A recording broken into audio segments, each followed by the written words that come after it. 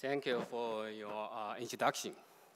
Uh, good uh, afternoon, good, every, uh, good morning, everyone, actually. Uh, actually, I got ma uh, many questions about China, and we have many discussions about China before my speech. So there's lots of questions and very much subject to this discussion. Today, I would like to talk about something about China, four points. Number one is economic uh, slowdown. Number two is energy demand. Three is oil and gas falling dependence. Last one, you may feel interested. That is a new Silk Road. We call one belt, one road. Now back to the first point, economic slowdown. The slowdown in economic growth has been witnessed inside and outside China. This tendency will be maintained in the next five years to come, I believe, and possibly will be maintained into the year 2025 because of the changing economic development patterns at home and with facing external pressures and new environment we're facing today. So we in Beijing feel the slowdown is just normal, just normal. Speed is something associated with weight and size. And now I have a question for all you, maybe for Sean. Could you run as fast as you did 10 or 20 years ago? What's your answer for that? Probably not. Probably not. A slowdown of economic growth in China has come over its growing weight and size of the GDP since today at over 10 trillion dollar. 10 trillion dollar not one trillion in 2007 or 300 billion 50 or 13 years ago. Now the 10 trillion, please remember this. So the slowdown of the economic uh, over the weight is just normal. We now have factored into this slowdown into our economic and energy transition outlook into the 2030. Currently, government leaders and policymakers are confident in the GDP growth at some range around 7%, which could be an indicator in the next five years. At the same time, however, their priorities have clearly been given and placed to the quality of economic growth, including structural reform, pattern shift, economic pattern shift, efficient uh, enhancement, plus new height of international cooperation, like One Belt, One Road, I will talk in a minute. I believe the growth rate at around 7% is adjustable in some range under our recommended scenarios. It may also be unsustainable under the current uh, policy scenarios, by the way. I argue, I argue that uh, it is not necessarily to stick to the 7% itself, my personal view, as a matter of fact. Instead, 6.6% for the next five years is good enough to satisfy the Chinese goals by doubling its income per capita by the year 2020. And most importantly, slower growth will leave the bigger room and time window in order to conduct further structural reform and efficiency restructuring taking place in the next five years. As all know, ladies and gentlemen, this is a part of the new normal or new realities in China with some impacts on Asia and the rest of the world. Some impacts on energy and other sectors and fields. Some possible uncertainties will rise maybe anyhow open for discussion. But message I would like to convey today is that we have to look at today's economy in China in different angle and perspectives, simply putting aside its slowdown in economy. Pay your attention to its quality and pattern shift in the years to come. Yes, there are some number of uh, outstanding issues, questions, uncertainties relevant to its expected uh, success of the pattern shift. I believe, in short, uh, economic growth and uh, solid development in China, whether or not it remain the one of the main engine of the world economy. It highly depends on the new types of opportunities in China could be grasped, and the right policy could be take, and the potential to be tapped in the next round of the, of the year. This is my view about the slowdown. The second is energy demand. As discussed uh, under the current policy scenario, energy demand growth in China will be upward into the 2030 at the pace close to the 2% without plateau, means keeping growing, but slower than previously we have imagined. As a result, CO2 emission could be peak in the year 2030 as committed.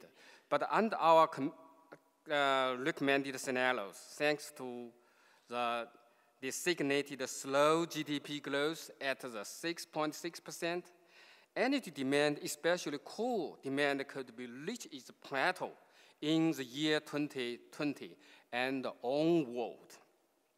This could be present a new reality, new climate, uh, we have looked at at the energy industry uh, carefully. Likewise, lower demand could pay its way for relevant policy tools employed for restructuring, efficiency enhancement, followed by the rethinking and repositioning of the coal sector, oil sector, and gas sector, to be a part of the nicer energy mix, while non-fossil fuel could be reached 20% ahead of the schedule. So the three points about uh, uh, falling oil and gas dependence. Dependence of falling oil and gas will continue to increase, but at a slower pace, ending at 63% uh, under the currency policy scenario, or 6.2, a little bit lower under my recommended scenario for oil. 37% under the current policy scenario, or a little bit lower under our scenarios for gas in the year 2020. You may find these dates are lower than those you have seen elsewhere. The key factors behind my observation for both oil and gas are not only met of slowdown in domestic demand, but also substitutions of oil and gas as fuel in the final consumption. We believe electricity vehicle LNG vehicle plus coal gasification and uh, biofuel combined will play an increasingly important substitution role in the next five years.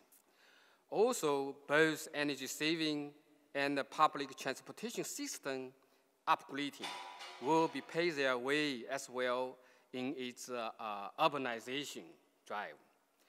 These elements have to be observed and reviewed seriously in the years when we look at China. Uh, many people, experts here, ladies and gentlemen, bike almost gone today in many uh, major cities like Beijing. And very soon, some larger part of the oil addict vehicle in major cities could be gone with the wind tomorrow if you return to China Sunday. Natural gas is another source of the energy and reviewed also. Gas demand is, will be leveled off, will be increased, but leveled off since last year. The level of the gas input could be rejustified accordingly since the country could face some surplus of the supply of gas in the year 2020. You may little bit surprised or surplus. Because some mass planning issues at home. So some imports from outside, from including some source from neighboring country, could be delayed. Last is one belt, one load. Against the slowdown, China has been facing some industrial overcapacity. International expansion is a must. But China, this is not the whole story of its proposed strategic initiative entitled One Belt, One Load. By name, this name not uh, formally uh, coined, I believe, personal belief. You may know no more new Silk Road. But uh, in my sense, one belt, one load actually is not one belt or one load. We may have to take this concept as a network or interconnectivity. That will be, of course, sense of the concept. In sense, therefore, one belt, one load is by no means Chinese strategy or major plans toward other countries or regions involved. Instead, it is a strategic initiative with intent to co-work with all relevant countries, parties for common interests and win-win development. We distinguished strategic initiatives from strategy itself. We find this is important. The distinctions clearly indicate our core and genuine thoughts about of the one belt and one load. Once again, this is a strategic initiative, not a Chinese strategy or plan toward other countries.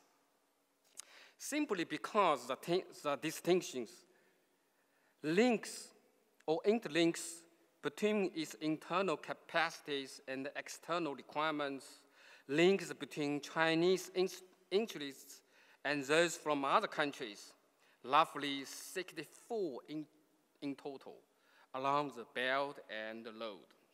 Links between all participating parties involved are critical to the initiative.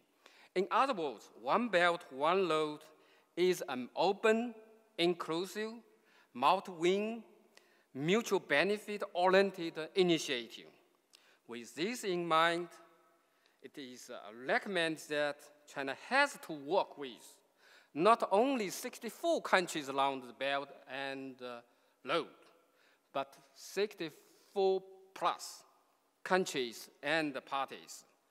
And international cooperation or, in, industrial capacity distribution, especially in infrastructure, manufacturing, and uh, some other energy-related sectors, is recognized as a main recommendations to upraise tomorrow's level of international cooperation under the one belt one load initiative to the new height. However, we, to be honest, we're facing some risks and uncertainties in this regard, or some conflicts possibly. So far, there are some, I believe, uh, uncertain or risks still uh, understandable and under control. We, but we have to take a good care of these issues and raise our capacity to take care of the risk uh, and uncertainties. Together with uh, the countries and the parties uh, we have to work together with. So that is some sense of behind the one belt and one load. This is something we'll convey but uh, one belt, one load is only one of a number of generally the strategic options leading the country to its future of choice. Some other options I just name for your attention, in addition to one belt, one load. That is China manufacturing. 2025, echoing Industry 4.1 in Germany. Structural reform, as I mentioned, mass innovation and pricing boom, Internet Plus drives, in addition to some other similar ones you may familiar, AIIB, Road Fund, and the Renminbi internationalization, internationalization. So eventually, in one word, I would like to say China could be reborn as a new swan, deserve to be explored, to be watched, to be discussed, explored closely and collectively with the new eyes on it. And now I think I have to stop here for discussion.